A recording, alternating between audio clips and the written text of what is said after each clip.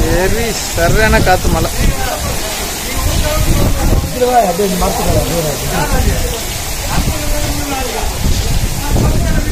ஓட்டுல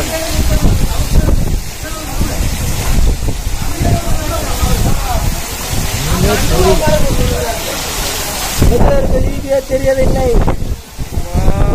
புயல் புயல் வந்துடுச்சு.